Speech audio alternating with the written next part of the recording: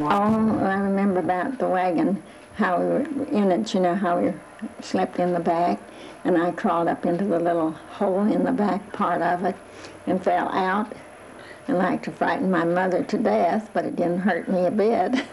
89-year-old Catherine Furry is a rare person, one of the few whose memory spans the transition from Conestogas to space capsules. And at the farm southwest of Olathe, where she lives with her brothers Horace and Tommy, she is trying to help these students transition back. Their farm is to these latter-day pioneers what Westport Landing was to their forefathers. The beginning of their pilgrimage to the west. In station wagons instead of covered wagons, they follow the trail through what is now downtown Gardner to a highway marker on the south side of town on one of the last highways they will travel for the next 30 days. It was at this point, now marked by a bovine skull about three-tenths of a mile northwest of that marker, where the trails divided. The Santa Fe going generally southwest, and the Oregon going generally west. Instead of a skull in those days, there reportedly was a crudely lettered sign here that said simply, Road to Oregon. Such a simple sign, one writer observed, never announced such a long journey. Ironic that this little bit of trail at the start of that journey is one of the few remnants left to be seen. Maybe it's because so many more wagons started the journey then finished it. By coordinating a precise guidebook with county maps, the group is able to approximate the original trail on back roads. One student reads directions from the book, another reads the map, and Sister Eleanor Craig drives. Oh, this is great. oh, this is terrific. a newly graded road. Last time in Nebraska, there was a, a whole house coming down the road toward us. I know, that's the hard part. Don't you wish you could see it the way it was?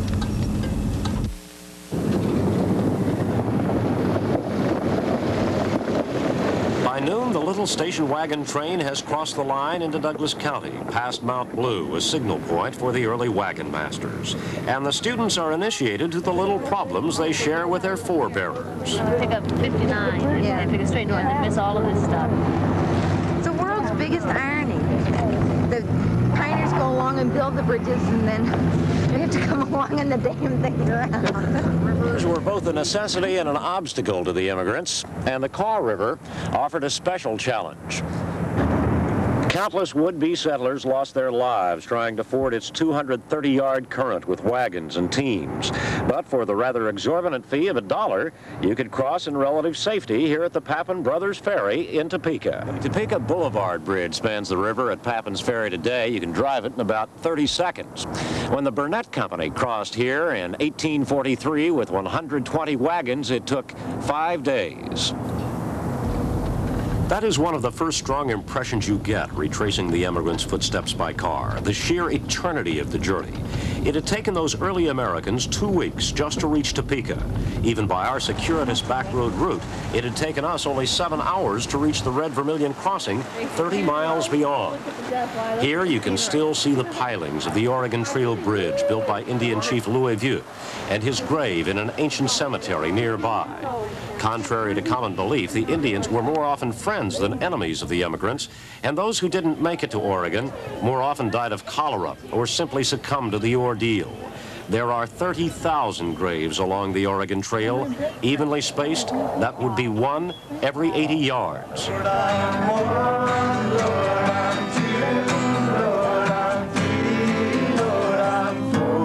Westmoreland, Kansas, 150 miles down trail.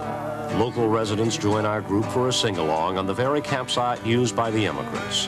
And already, in the minds of the students, the melancholy transition to the past has begun.